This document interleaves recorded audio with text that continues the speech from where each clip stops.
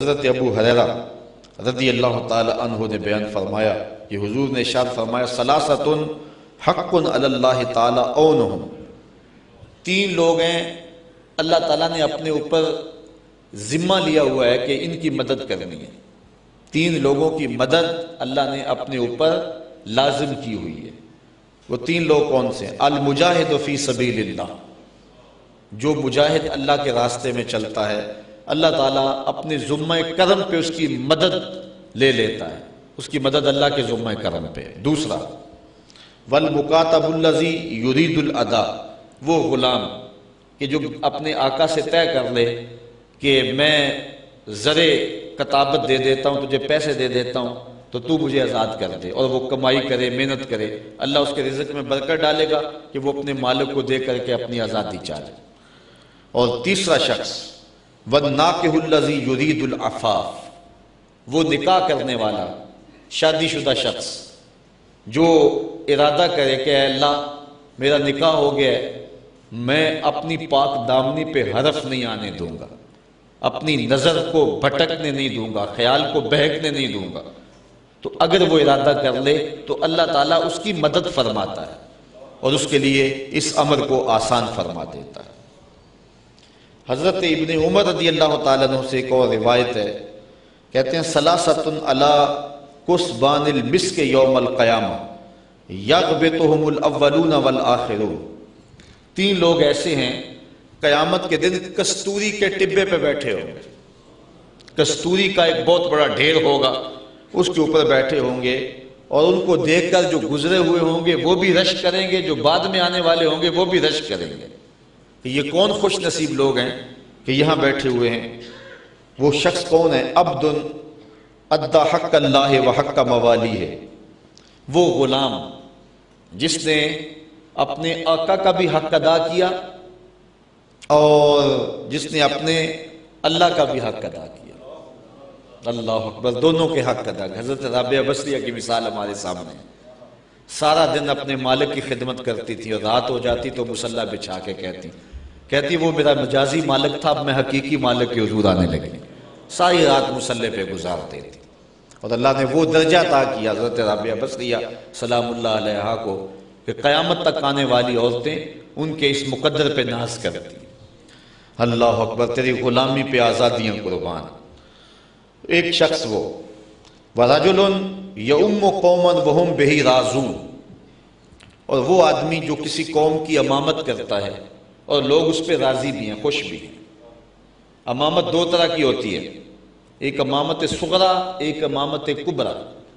ये जो मुसल्ले की इमामत है, ये इमामत सुगरा है, छोटी इमामत। और ये जो तख्त व ताज है, हुकूमत है, ये इमामत कुबरा है, ये बाजेन में रखे। तो ये भी इमामत है और वो भी इमामत है। तो वो भी इमाम होगा, जो मुल्क का सरबरा होगा। और जो मुसल्ले के ऊपर बैठता है, वो भी इमाम होगा। इनसे दोनों मुराद है। जो आदमी इस अंदाज से कौम की इमामत करता है कि कौम उस पर खुश भी है, कौम उस पर राज़ी भी है। कयामत के दिन कस्तूरी के टिब्बे पे बैठा हो। और जिसको उसके मुक्तदी गालियाँ देते हैं, बुरा भला कहते हैं। और जिस जो है, वो इमाम को, इमाम वक्त को, जिस हाकिम को, उसकी रियाया है, वो बुरा कहती हैं। और दुआ मांगने की या अल्लाह, इस कमीने से जान छूट जाए। तो मुझे बताओ कि उस शख्स का क्या हाल होगा? और कितना रसवा होगा क़यामत के दिन? तो जो शख्स इमामत के मुसल्ले पे बैठा या इमामत के तख्त पे बैठा, इकतदार की कुर्सी पे बैठा, और इस अंदाज से उसने इकतदार और इमामत का हक निभाया कि उसकी कौम उस पर राज़ी थी। सारे उसको दुआएँ देते थे। नौशेरवा ने अदल किया, हजूर इस्लाम उस जमाने में पैदा हुए, और हजूर फरमाया करते थे, मुझे फ़ख्र है कि मैं आदिल बादशाह के ज़माने में पैदा हुआ। आदिल बादशाह के ज़माने में पैदा हुआ हूँ, इस बात पे मुझे नाज है। आज जिस दौर में हम जी रहे हैं, दुनिया के ऊपर अदल तो नज़र ही नहीं आ रहा। आज इनफरादी सतह से लेकर के आगे तक चले जाएँ तो आज तो हम इंतहाई जुल्म की चक्की में पिस रहे हैं। दूसरा वो शख्स वराजुल यम कौमन वहम बेही राजू और तीसरा शख्स वराजुल युनादी बिसलातिल खम से फ़ी कुल्ल यौमिन वलैला और तीसरा वो शख्स जो नूर के टिब्बे पर बैठा होगा, वो शख्स है कि जो सुबह शाम मस्जिद में अल्लाह की रजा के लिए एजान देता है।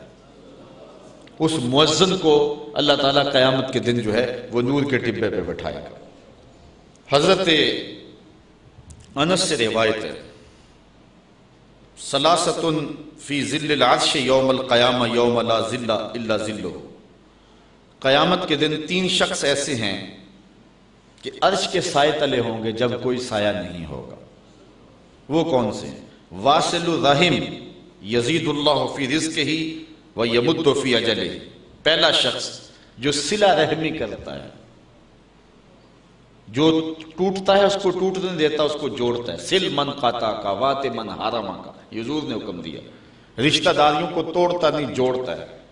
आज हमने पता नहीं ये कहाँ से सीख लिया हुआ है कि जो दो कदम पीछे हटेगा, मैं दस कदम पीछे हटूँगा।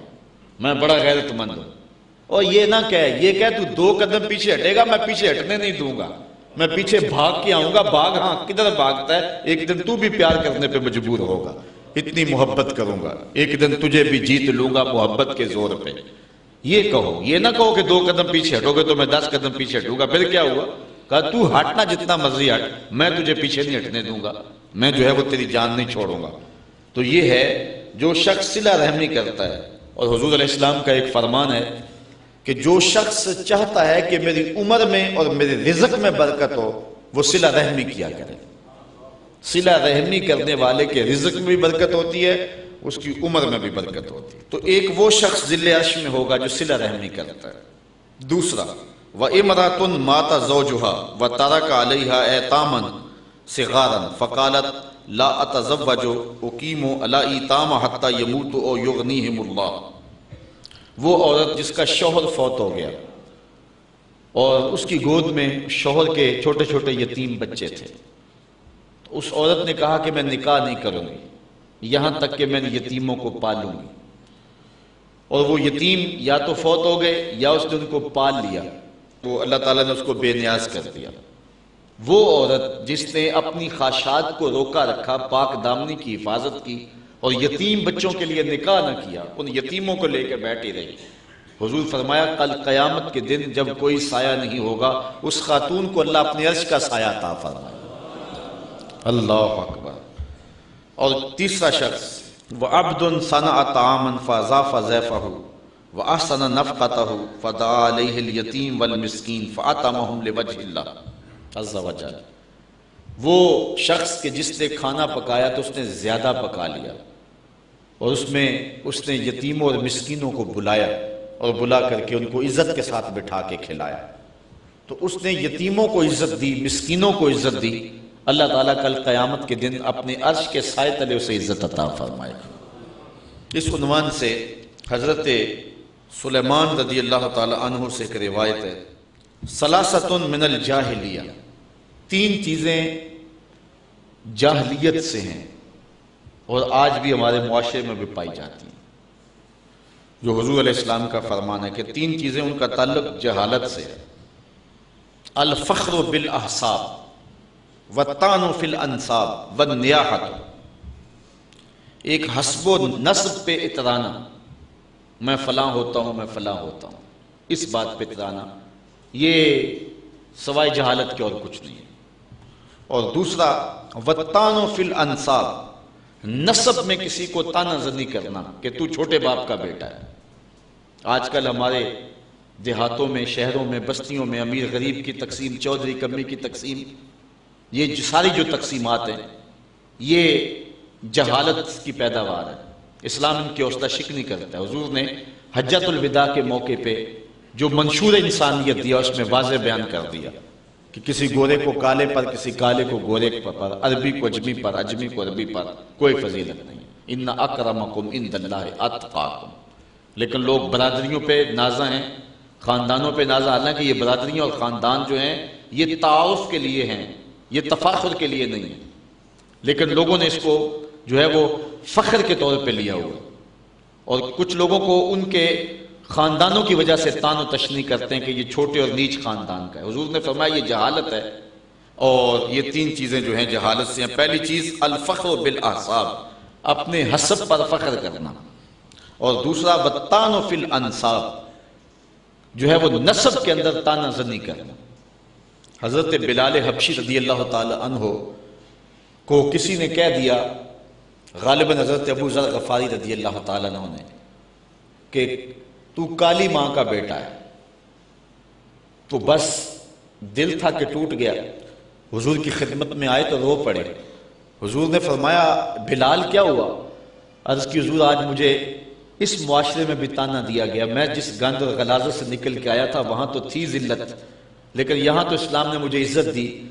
लेकिन आज यहाँ भी मैं परेशान हुआ हूँ कि मुझे कहा गया है कि तू काली माँ का बेटा है। तो हजूर अलैहिस्सलाम ने फरमाया कि जाके अबू जर को कहो कि ये ताना आके अपने नबी मोहम्मद को भी दे। इसलिए कि मैं जिन औरतों का दूध पिया है, उनमें से एक खातून हज़रत उम ऐमन है और उनका रंग सांवला था। इसलिए अगर ये चीज़ ताने के तौर पे कही जा सकती है तो जाके उनको कहो कि ये अपने नबी को भी आके फिर कहे। तो हज़रत अबू जर गफ़ारी रदी अल्लाह तहों को जाके, जब हज़रत बिलाल हबशी रदी अल्लाह तु ने कहा तो वो इतने परेशान हुए, बल्कि अपना जूता उतार के उनको दिया, कहा, मेरे मुँह पे मार, जिससे मैंने ये कहा था। तो नसब के अंदर किसी को ताना जनी करना, या अपने हसब पे तराना, ये सवाई जहालत के और कुछ नहीं है। उस शख्स की जहालत के लिए काफ़ी है कि जो अपने नसब पे तराता है, या किसी शख्स के नसब पर उसको कमीनगी का ताना देता है। तीसरी बात व नया खातो और ये भी हमारे मुआरे में पाई जाती है। यानी वैन करना, जब कोई शख्स फौत हो जाए, ये ज़्यादातर औरतों के अंदर ये मर्ज पाई जाती है। और वो समझती हैं कि यह शायद ये बड़ा कमाल है। और किसी मैयत पर बहुत ज़्यादा रोना धोना हो, और चीखो पुकार और बैन हो तो औरतों के अंदर इसको कमाल समझा जाता है। तो ये तीन चीज़ें जो हैं, वो सवाई जहालत के और कुछ नहीं है। सलासतमिन मकारमिल अखलाक इन हज़रत अनस से रिवायत है। जो तीन चीज़ें हैं, वो अच्छे अखलाक से हैं। तीन चीज़ें अच्छे अखलाक से वो तीन चीज़ें कौन सी हैं? अंताफ व अमन जालमा का जो तेरे पे जुल्म करे तो उसे माफ़ कर दे। ये बड़ेपन होने की दलील है। अखलाक आलिया की बात है। दूसरी बात, जो तुझे महरूम रखे तो उसकी झोलियाँ भर दे। तुम्हें ज़रूरत पड़ गई, किसी के पास गए, रिश्तेदारी थी, दोस्त, दोस्ताना था, उस मुश्किल वक्त आपके काम ना आया वो अब उसको मुसीबत पड़ी तो वो आपके पास आया। तो आपने उस बात को याद रखा। आपने उसको खाली लुटाया या तानो तशनी की कि एक वक्त था कि मैं भी तेरे पास आया, अब सुना फिर। नहीं, ना उसको याद दिलाना है। अगर इंसान हुआ तो वो खुद ही समझता है इस बात का। और अगर इंसानियत नहीं है तो जतलाने से भी कोई फ़ायदा नहीं है। और दूसरी बात है कि तुमने अल्लाह से जद पाना है तो ना उसको खाली मोड़े कि इसने मुझे कुछ नहीं दिया था उस वक्त। मैं फंसा था तो इसने मेरे पे तरस नहीं किया था। तुम उसकी झोली भरो। ये ना कहो कि इसने मेरे साथ ये सलूक किया था। नहीं ये अच्छे अखलाक से है और मकार में अखलाक से है। वह तसिला मन काता का। और तीसरा जो तुझसे कता ताल्लुकी करे तू उसके साथ सिला रहमी करे।